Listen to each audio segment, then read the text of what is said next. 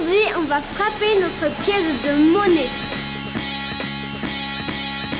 Bon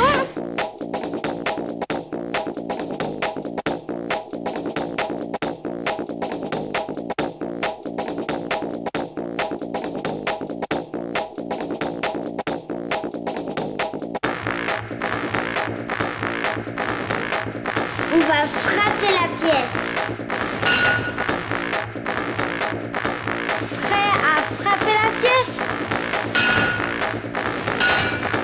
Et maintenant, il n'y a plus qu'à enlever.